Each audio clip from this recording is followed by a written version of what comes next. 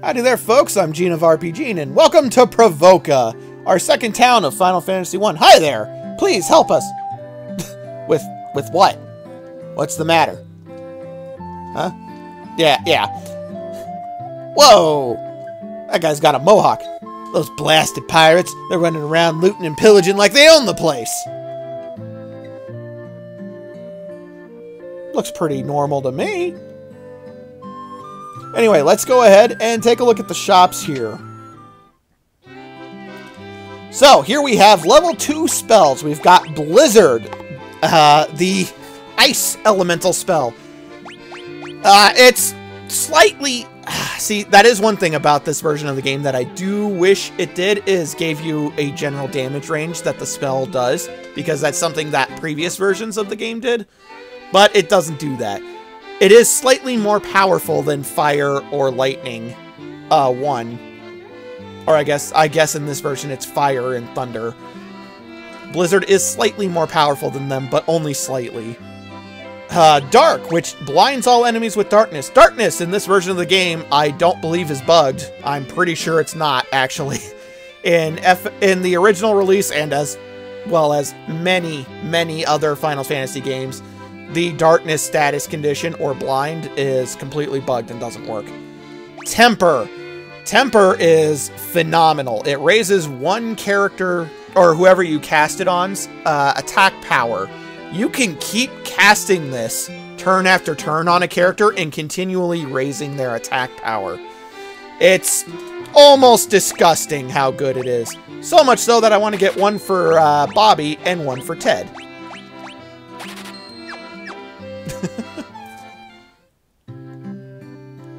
but that's it for the black magic shop. Uh, I forget what the other spell that was there was. Actually, I should have probably read that. Let's go back and look. Slow. It reduces the it reduces all enemies' number of attacks.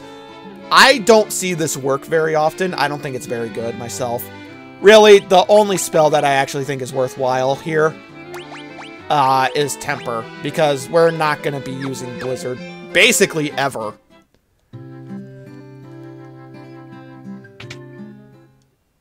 Alright, but in the weapon shop, you can buy a hammer. Woo! A broadsword, which is more powerful than the rapier. Uh, by a fair bit, actually, but it's also 450 gil. Eh, I wouldn't spend it.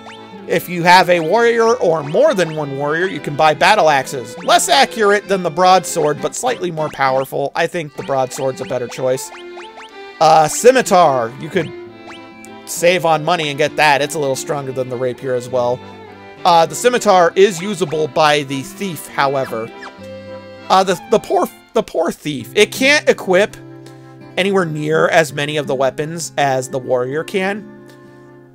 But it does it it, it will eventually get to where it can equip plenty of pretty good weapons. It's an investment class. It doesn't start to shine until late game, unfortunately, and well, I'll get to that when we get to it. Here we have the White Magic Shop, which has Blindna.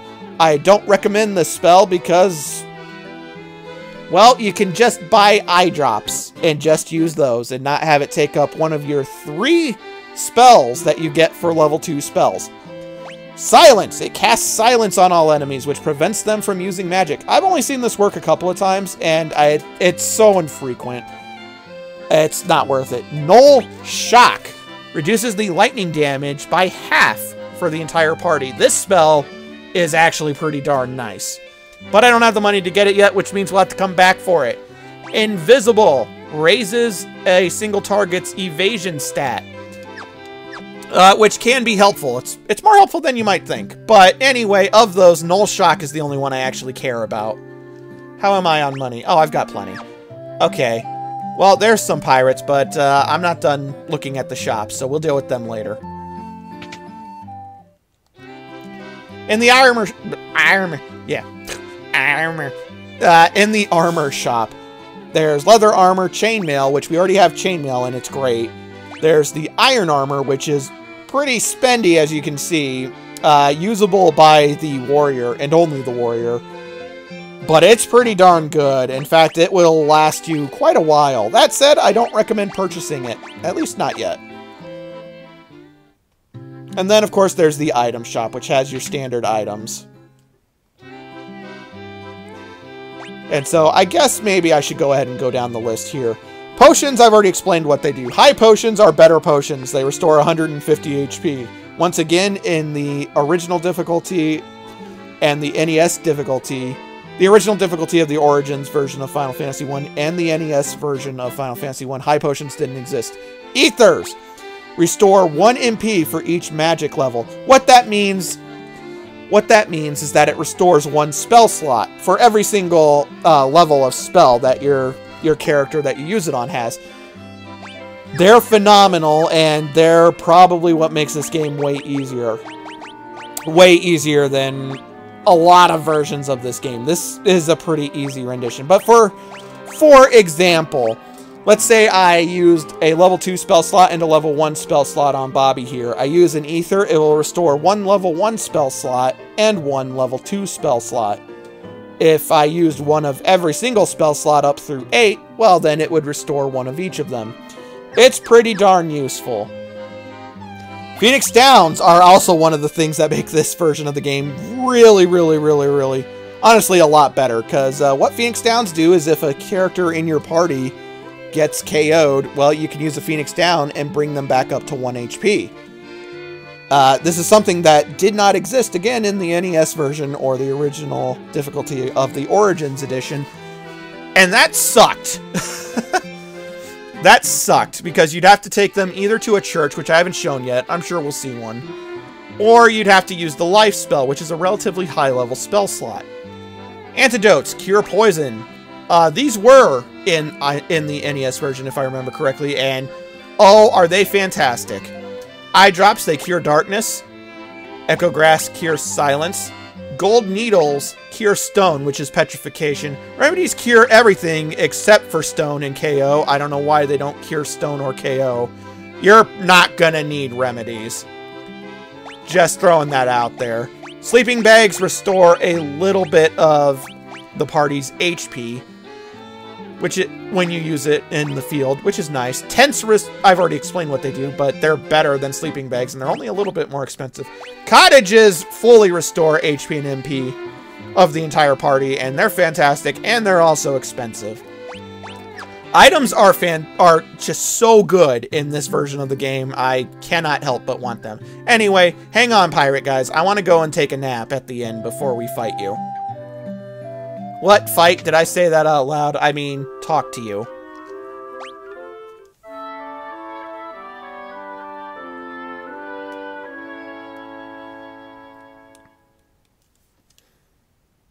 Alright. Uh, now that we're ready, hi. You've got cannonballs of steel to be taken on the great pirate Bikke. Kill all them boys. Aye, aye, Captain. We'll make your bone go crunch. Yeah. Okay.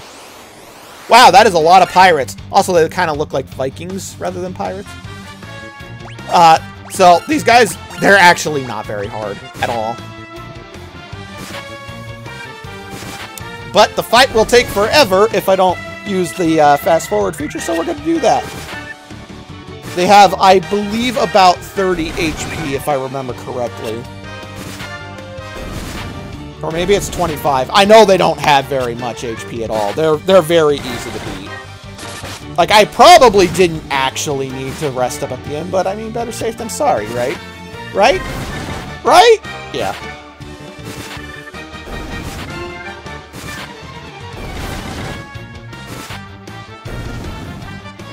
But there we go, we defeated the pirates.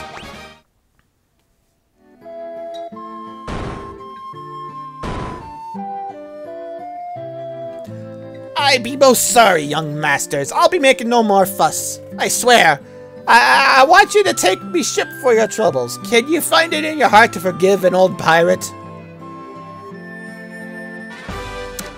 And, uh, yeah. Now that we've completely slaughtered his crew in the streets, uh, we took his, his, his boat.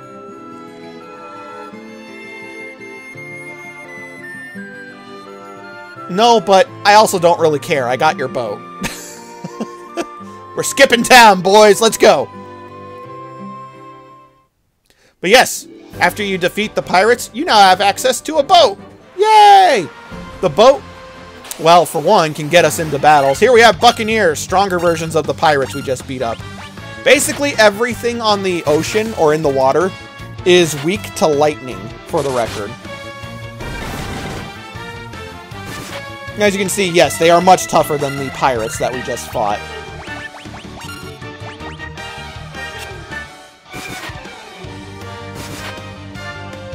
Uh, the Buccaneers, though, I do believe have a chance of dropping a Saber. I forget if the Saber was the was one of the weapons we saw, if that was the Scimitar.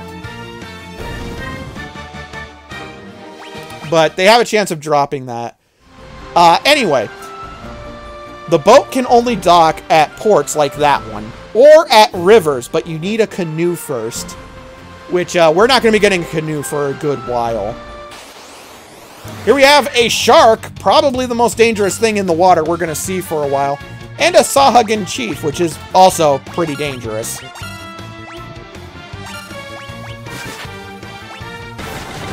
Uh, the sharks are just really hard-hitting, relatively beefy fish. Like, we've already done over 100 damage to the stupid shark, and uh, it's still not dead.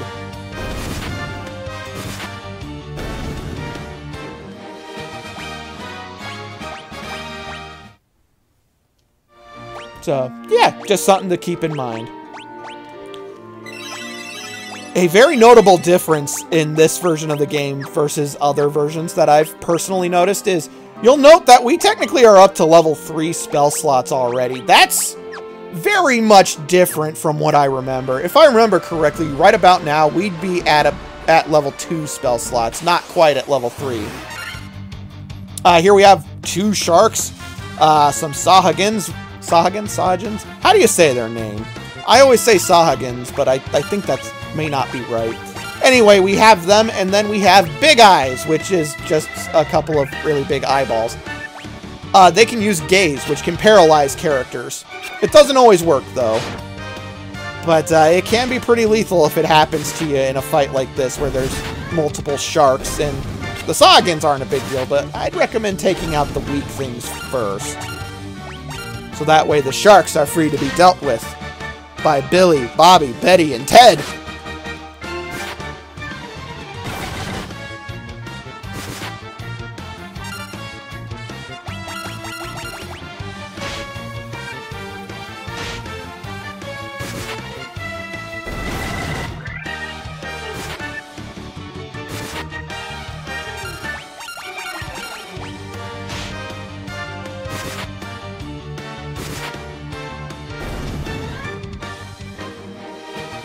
There we go. We survived. Yay! Exciting, right? well, I don't know. Maybe it's not all that exciting, but oh man, I remember I, I absolutely loved this. I, I do like Final Fantasy 1. Anyway, before we get going, we're technically have to go. Uh, I do want to bring attention to the bridge, because this bridge here, because you can sail under it. Have no idea how long it took me to realize you can sail under that stupid bridge. So, unfortunately, in that fight, uh, Ted died. but no, it's so sad. He was so young. So young. He's only, he hasn't even been alive for an hour yet. But uh, that's okay. That means I'll get to show off the church soon enough. For now, though, I want to go up to this cave. Because this is Matoya's cave. We could have come here earlier on our way to Pravoka, but uh, that broom is moving on its own. Frontwards, backwards, any way you see, such a strange spell to swish swishery.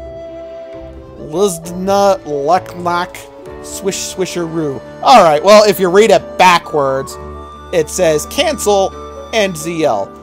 Alright, so if you hold ZL and press, in this case it's the B button, it brings up the uh, more detailed world map. But uh, you probably, which, holy crap, I didn't even realize it shows you every single entrance into things, so you, oh, that's funny. That's that's funny. I wasn't actually expecting it to show all that. Anyway, though, you've probably noticed that there's a there's a mini map in the top right. No other version of this game has that. Ouch!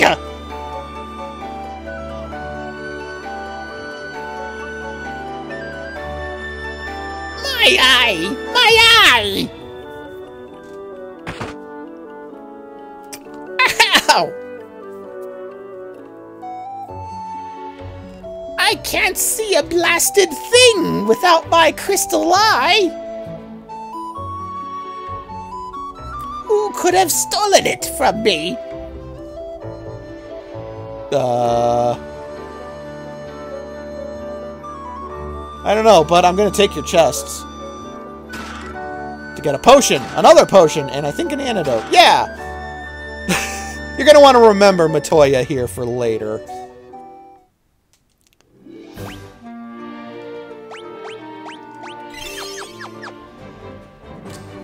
Anyway, yeah, that mini map up there on the top right did not, it, it wasn't present in any other release of the game as far as I'm aware, other than the Pixel Remaster, and it makes things a heck of a lot easier than it used to be. Not just for the world map, but for everything. Which is something that I have seen a lot of people complain about in regards to uh, the specifically this Pixel remaster. I haven't looked into the other ones yet as far as what people have said. Uh, a lot of people don't like how much easier this game is in comparison to the NES version of the game. And you know what? In some ways, I can understand. One of the complaints I've seen, though, is some it were people complaining about the encounter rate being lowered. And I don't know what they're talk what like what they're talking about. Believe me, it's not fun having to spend five hours going through a dungeon because you get into an encounter every single step. And so I I will disagree till the cows come home as far as the encounter rate being being lowered ruining the game. But anyway, this is the church. You talk to this bishop person and you can pay money to resurrect whoever's dead. So uh, they're going to resurrect Ted, Ted, who's the one who walked in here to ask, Can you resurrect me, please? Little weird, but whatever. Anyway, let's go ahead and stay at the inn as well.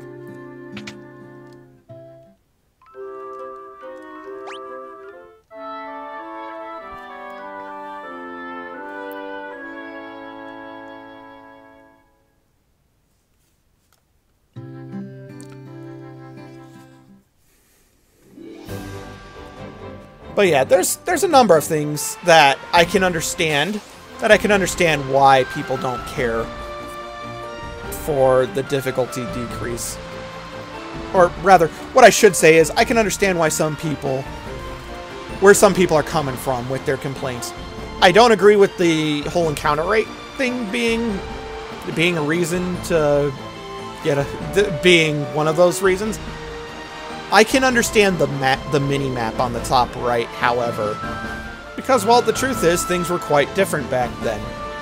For instance, in a dungeon, uh, if you wanted to have a map, you kind of had to make it yourself. Those days are long gone, though, and I do think it's it's a good thing that they have the mini map. But I can understand where some people are coming from. Anywho, this is our next town, Elfheim. Yeah! Hi there. I just don't know what we can do. Please help our prince. Well, maybe. Well, uh, maybe we can. We'll have to see later. Hi. I am a sage. When the time is right, the future is revealed to me. I shall wait patiently until then. Okay, you do that. Anyway, there are more shops here. so, let's start with the weapon shop. Here you can buy some pretty basic stuff. Iron nunchucks, these are things for the monk, should you not want him to be punching, though I recommend having him punch. A dagger, it's a slightly stronger knife, that's about it. The crozier, I believe only the warrior and the monk can equip. And then there's sabers, which are, well, I think I've already talked about them, but they're... They're okay. We, I don't want to buy any of that. And then there's also this item shop here. Or I'm sorry, I said item shop. Armor shop, which has the arm, the the arm, no, the iron armor, which I am gonna want to get at least one of. It also has copper armlets, which is which is armor that technically anybody can wear, but it's specifically armor that you're going to want to probably have the mages wear. There's an iron shield, which is actually pretty cheap and not a terrible choice, as well as a helm. But uh, I'm not really going to worry about any of those just yet. Well, except for the iron armor. I do want the iron armor. Because again, the iron armor is actually going to last a really long time. Alright, there's the item shop. It has all the same kinds of stuff. However, an important thing you will notice in Elfheim here is that there are four magic shops instead of just two. There are two black magic and two white magic. That is because, well, I went to the higher level one first, but that is because they have level 3 and level 4 spells, and you'll notice how expensive they are. but this is the level the level 4 black magic shop. Let's get into these spells. There's Sleepra has a uh, it's a spell to put one enemy to sleep. I have never seen this spell work, no matter what version of the game I'm playing. So I wouldn't worry about it. There is Haste, which doubles one ally's number of attacks. This spell is incredible and pairs very nicely with Temper. Uh, there is Confuse, which causes enemies to turn on each other. Much like Sleep, I've never seen this work on anything. And then there's Blizzara, which is the second tier of ice elemental spells, and uh, it hits all enemies. It's very nice, but it's also very expensive.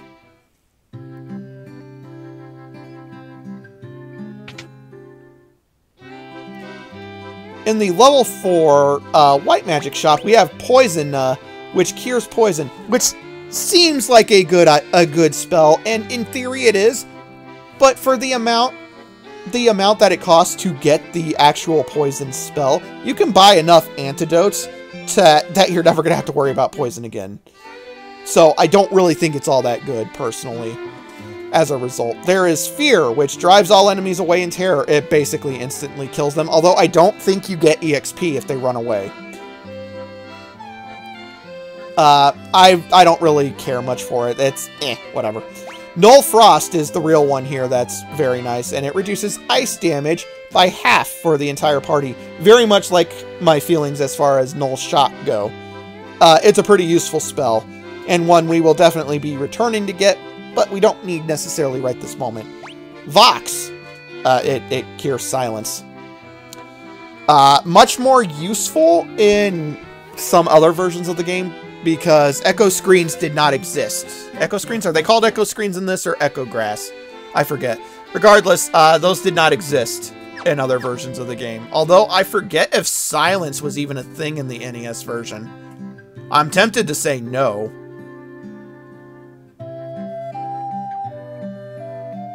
So there is, even though I've mentioned this, uh, a lot of the NPCs and things that you can look at and talk to are very repetitive, very simple. That's because NES limitations.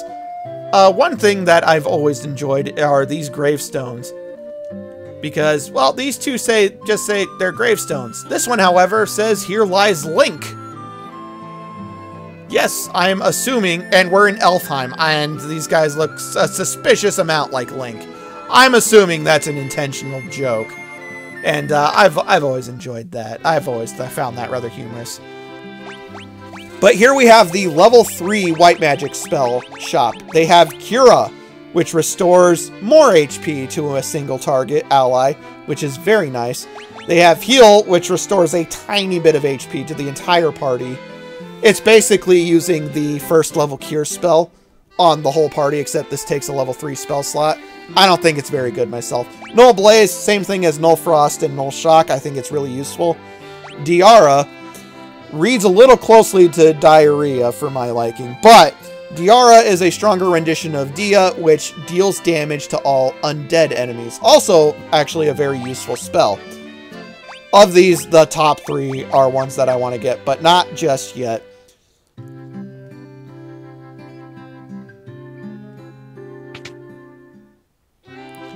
And then here we have the level 3 black magic shop, which has Fira, which deals fire damage to all enemies. This is one that I'm definitely going to want to get at least for uh, Ted, but I will want to get it for Bob, or not, yeah, Bobby. I'm getting their names mixed up. it has Hold, which uh, paralyzes one enemy. Eh, eh. Thundara, which deals lightning damage to all enemies. And uh, Focara, which lowers the evasion of all enemies, which... Eh. the real shining things here are Thundara and Fira. We don't need Thundara yet, although it does make sea travel a little bit less of a pain in the butt. Because, again, almost everything on the sea and in the ocean is weak to lightning. Fira, however, is the big one that we're to want. And did I put the knight's armor? Or the knight's armor. Ha! I'm jumping way ahead. That, that, yeah. I did put the armor, the iron armor, onto our warrior. Uh, as for the item shop, I'm down to three potions. I've been using them quite a bit. Uh, I have a tent. Here's the thing. We are coming up on our first money grinding session. There's only going to be two times that I need to actually... Is it only two? Actually, I take that back. I think it's three. Uh, there's only going to be three times that I need to actually farm for money in this game. Which, of course, I'm not going to make you guys watch me sit here and farm money. Are you kidding? I'm not that mean. Usually. But I did want to make sure to get Fira first because, well, it does help with farming money. Here's the thing. My actual favorite place to farm money uh, has technically been removed in this version of the game, and this is the only version of the game where it's not there, and that makes me sad. But I'll go into all that stuff next time on Final Fantasy, the Pixel Remastered version. I'm Gene of RPG, and I'll see you guys then.